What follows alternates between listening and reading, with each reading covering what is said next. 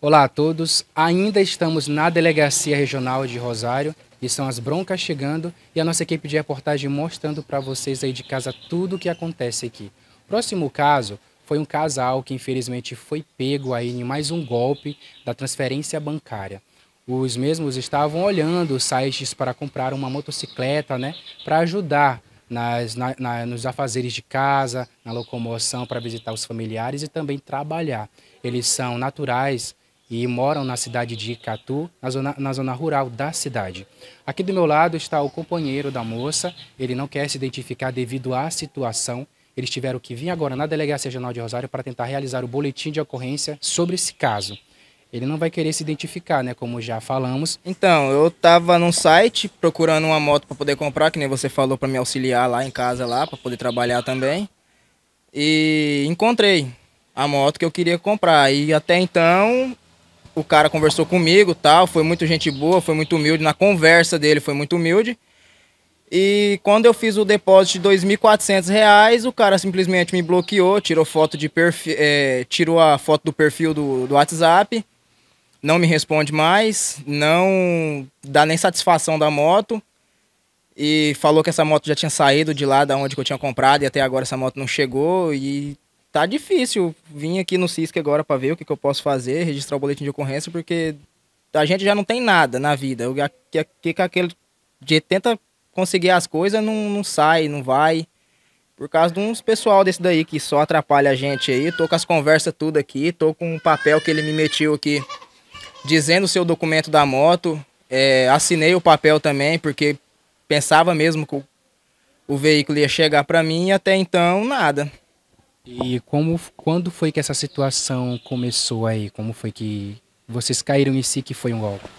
Então, na verdade, eu fui segunda-feira em São Luís, poder tirar o dinheiro, que já não era muita coisa, mas porém poderia ajudar a gente em casa. E fiz esse depósito para ele. E até agora essa moto não chegou, fiquei lá em Catu lá com a minha esposa e com a minha bebezinha de um ano, tá até 9 horas da noite, não conheço a cidade, não sou daqui.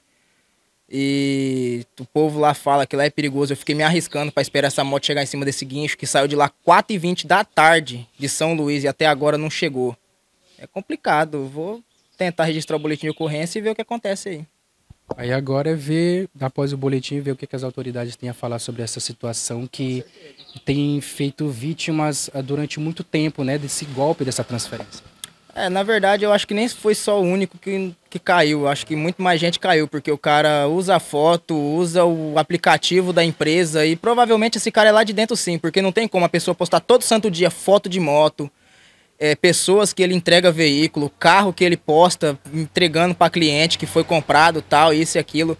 Ele é lá de dentro, certeza, porque nos vídeos que ele posta no, no WhatsApp mesmo, que agora eu não consigo mais ver porque fui bloqueado ele falava tal, que entregava. Eu perguntei para ele se realmente ele entregava. Ele falou que entregava em qualquer lugar do Maranhão, sendo no estado do Maranhão, entregava em qualquer lugar. E eu fui e paguei, fiz o depósito lá e o cara sumiu, me bloqueou, não me responde, bloqueou minha esposa também, não, nem posta mais nada. Tudo que eu tinha sobre ele tá tudo no celular e a única coisa que ainda a gente tem é as conversas, o PDF que ele me mandou da suposta documentação da moto e a foto da cara dele. É a única coisa que eu tenho. A gente agradece aí pelas suas palavras, por ter conversado com a nossa equipe de reportagem. A gente agora vai ficar aguardando alguma atualização sobre esse caso, né, para tentar ver uma solução sobre essa situação.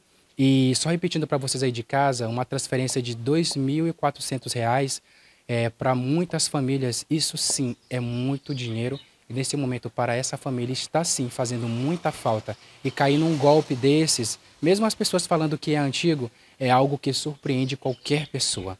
A gente vai ficando por aqui e atualizando vocês aí de casa sobre qualquer situação ou qualquer novo caso que possa surgir.